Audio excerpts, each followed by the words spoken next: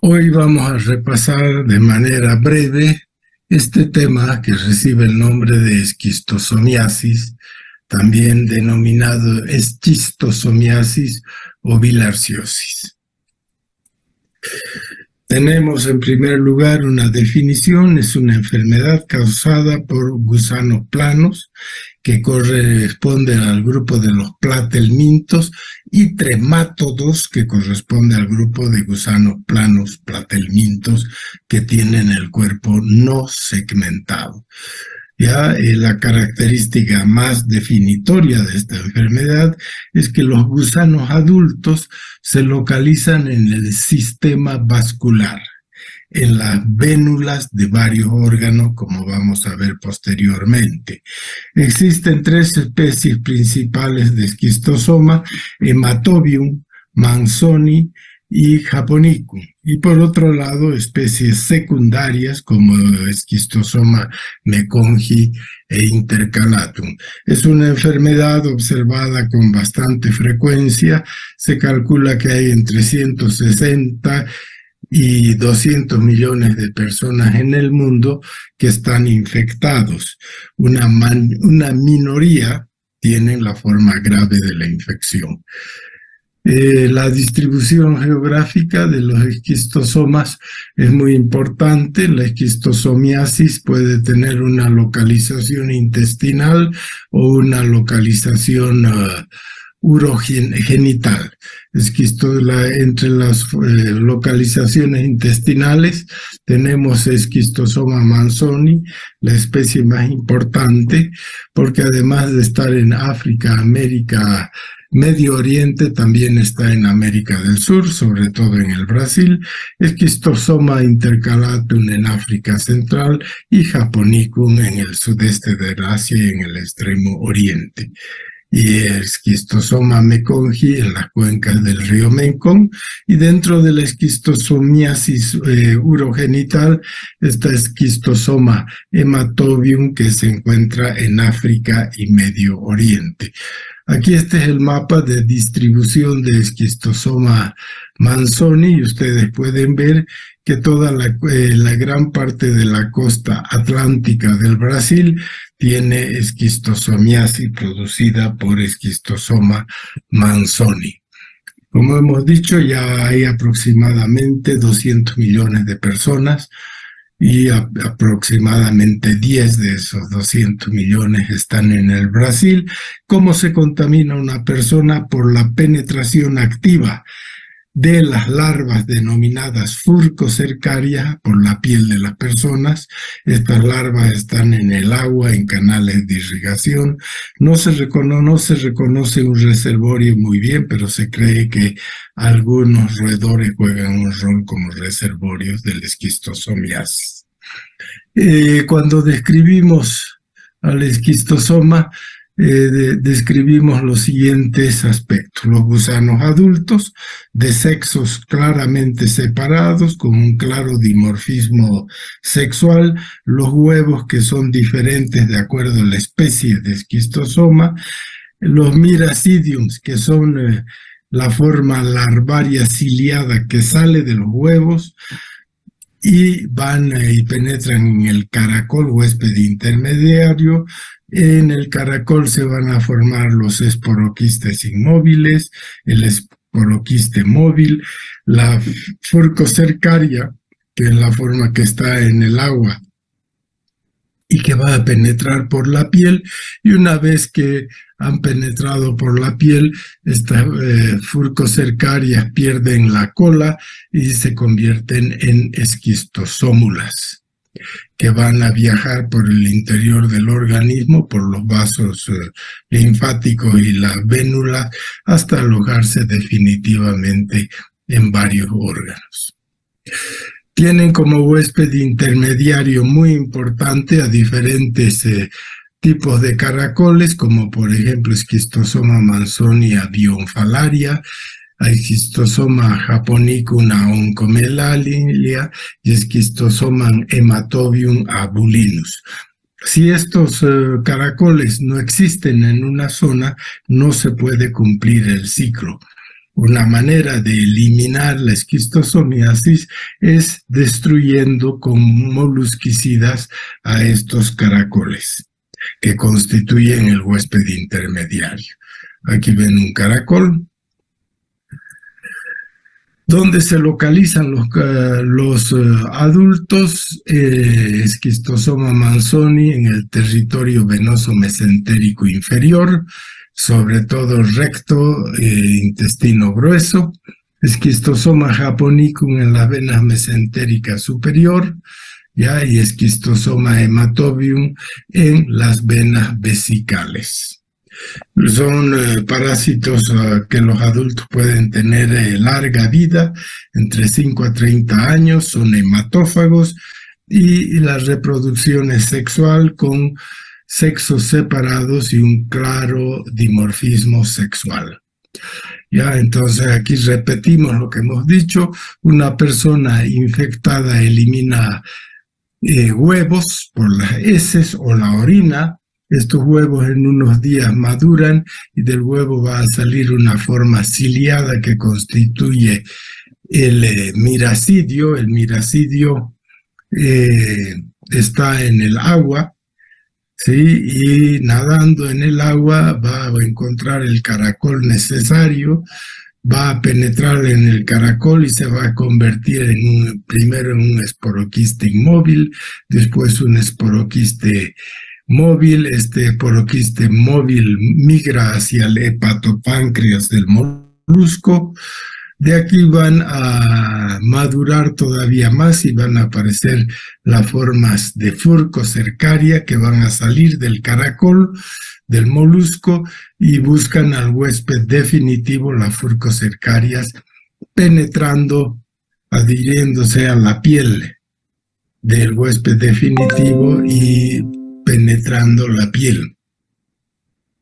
Al penetrar la piel, la furcocercaria pierde la cola bifurcada, se convierte en lo que se llaman las esquistosómulas, que ya sea por los vasos linfáticos, venas, se van a eh, dirigir hacia diferentes órganos, donde van a, eh, los, en el sistema venoso van a madurar hasta adultos con sexos separados. Tenemos aquí lo mismo, una persona aloja en las vénulas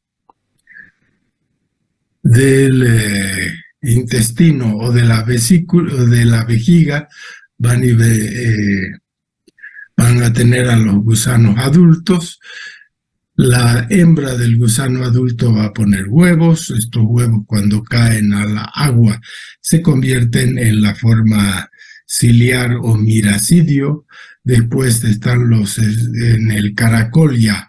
En el caracol van a penetrar los miracidios, se convierten en esporoquiste inmóvil, eh, después esporoquiste móvil, del esporoquiste móvil va a salir la furcocercarias, aquí ven la cola bifurcada, que penetran por la piel y van de nuevo a la circulación. En cuanto a los adultos, hay que reconocer que son de sexos separados y aquí tenemos algunas características. El macho, que es este de acá, se caracteriza porque tiene una, una especie de canal de hendidura en todo lo largo de todo su cuerpo que recibe el nombre de canal ginecóforo y la hembra que es mucho más larga eh, tiene una forma filiforme como un hilo, ya, y ambos, y en esta canal ginecóforo se va a alojar la, la hembra.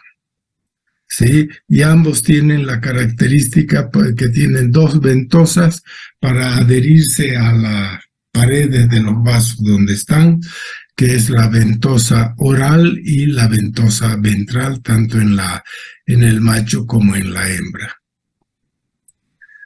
Acá tienen para diferenciar bien el macho con su canal ginecóforo, ¿sí? es un gusano plano entonces, mientras que la hembra, que está aquí en parte alojada en el canal ginecóforo, tiene una forma de un cuerpo filiforme y cilíndrico. Puede medir la hembra hasta 2 centímetros y el macho en general aproximadamente un centímetro, 1.5 centímetros.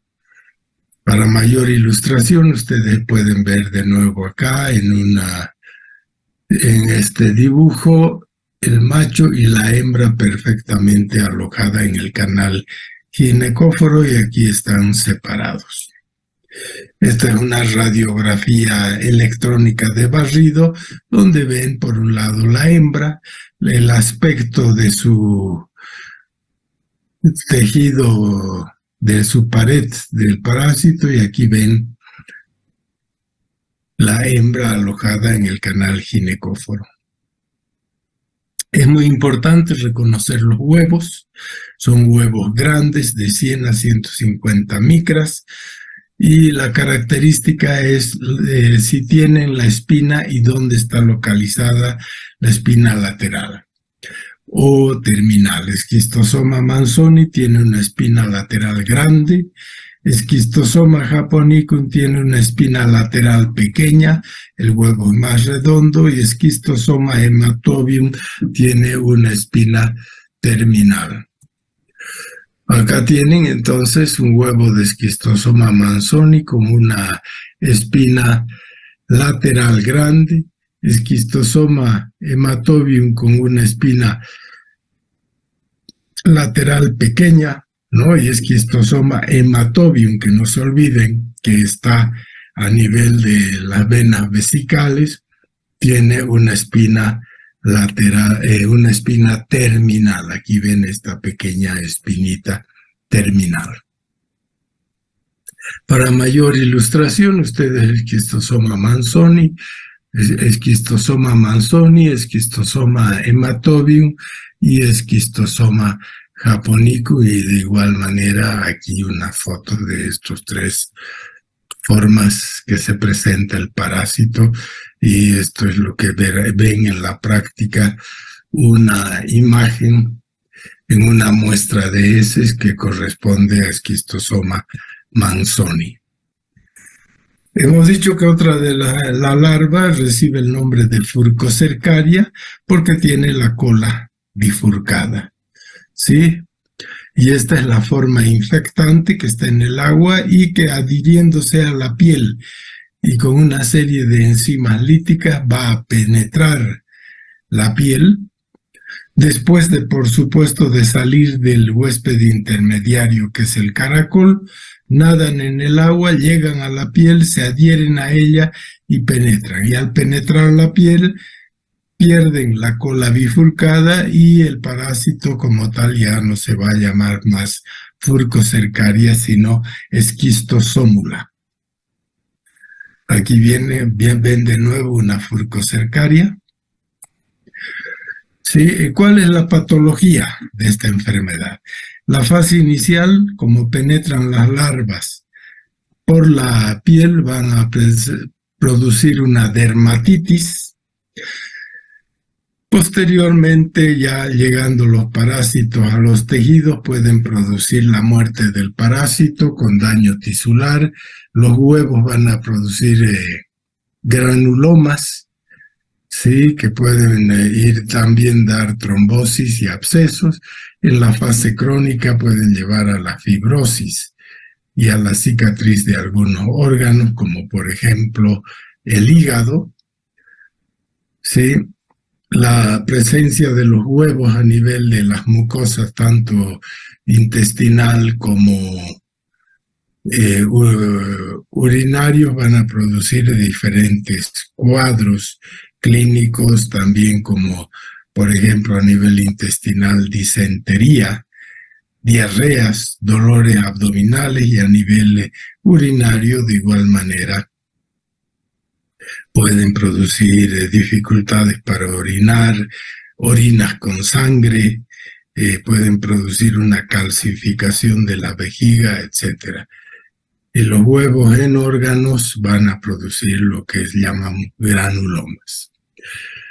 Eh, Ya en los aspectos clínicos, la penetración de la larva de la furcocercaria produce una dermatitis con una erupción de la piel eh, papular y también un prurito importante. En la fase de invasión, muchas depende de la cantidad de parásitos que han ingresado, muchas veces es totalmente asintomática, puede también producir fenómenos tóxico-alérgicos por la penetración de las larvas y la producción de una serie de proteínas que actúan como toxinas, dando artralgias, mialgias, tos, edema, diarrea, escalofríos y fiebre. Eh, las manifestaciones crónicas de esta enfermedad, esquistosoma manzoni y esquistosoma japonicum, dan la forma digestiva de la enfermedad con dolor abdominal, diarrea sanguinolenta, pérdida del apetito y fiebre. La localización eh, hepática y esplénica de la enfermedad va a dar hepatomegalia, esplenomegalia, o va, puede llevar a una cirrosis hepática o una hipertensión portal, asitis, varices esofágicas, ictericia y edema. Si los parásitos o los huevos de estos parásitos se localizan a nivel pulmonar, va a haber disnea, dolor precordial, cianosis e hipertrofia del ventrículo derecho. Si los huevos de los parásitos o los parásitos llegan hasta el cerebro, pues va a haber eh, daño cerebral con letargia, confusión y convulsiones.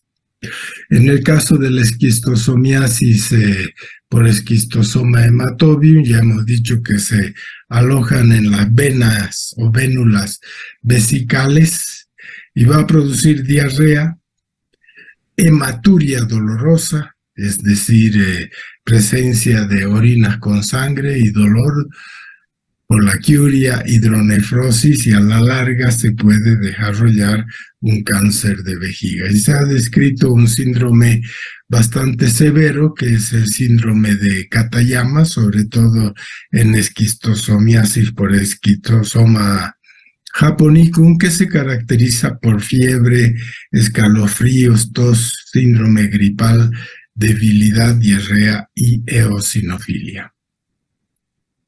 Aquí vemos un niño que tiene una hepatoesplenomegalia afectado por esquistosomiasis. Aquí este vientre abultado, donde vamos a ver hepatoesplenomegalia. También vamos a ver importante asitis, acumulación de líquidos en el peritoneo. Ya acá ven ustedes la dermatitis por la penetración de las larvas y por supuesto por la sobreinfección y el rascado. Aquí dos pacientes que tienen claramente eh, un vientre abultado con circulación eh, colateral. Y aquí daño, diversos puntos de daño a nivel de cerebral y recordarles que este Schistosoma japonicum da una enfermedad más severa, puede dar una cirrosis hepática, asitis y a la larga un estado de enflaquecimiento extremo del paciente, mientras que esquistosoma hematobium da orina con sangre, síndrome disentérico, fiebre y otras complicaciones. Aquí ven un caso de esquistosomiasis. Y aquí en este caso se ha hecho una radiografía de la vejiga y se puede ver que las paredes de la vejiga están calcificadas y después de la micción se puede ver que la vejiga se ha retraído.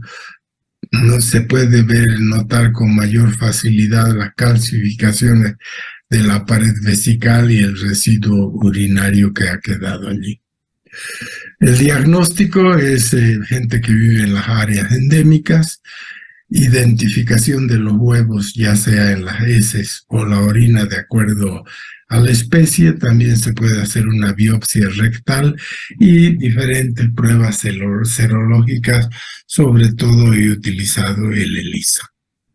Sí, eh, Hay un método de concentración que se llama método de concentración de catocats para los huevos y las pruebas que ya hemos eh, indicado con anterioridad.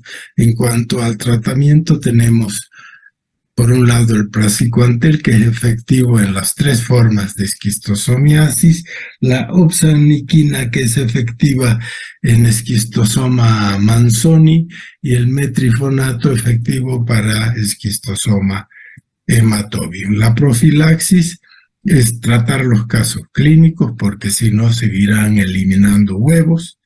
La destrucción de los moluscos, que es una medida extremadamente importante, pues si no hay los caracoles intermediarios desaparece la enfermedad y eh, consumir y beber agua potable. Eh, personas que están en estas condiciones, un sembradío de arroz por inundación, pues aquí evidentemente puede eh, recrearse con mucha facilidad el ciclo de esta importante parasitosis. Muchas gracias.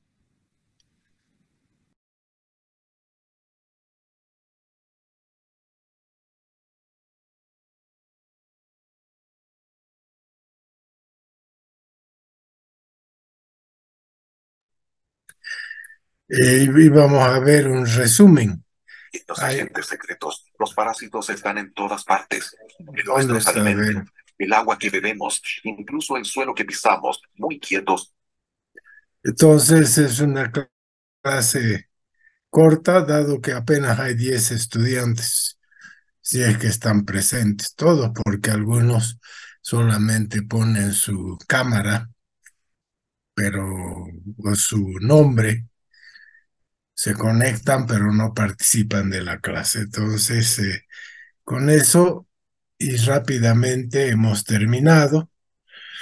Recordarles que ya tienen que ir eh, preparando el segundo examen final, el segundo examen parcial teórico y práctico. A mis grupos prácticos ya les he puesto la fecha en que les voy a tomar el examen. Sí, entonces pueden ver ustedes eso en, eh, en Classroom donde está la fecha. ¿Sí? Muy bien, creo que eso es todo. Eh, con eso hemos terminado la clase. Gracias a todos por su presencia. Gracias, doctor. Hasta luego. Hasta, luego. Hasta luego.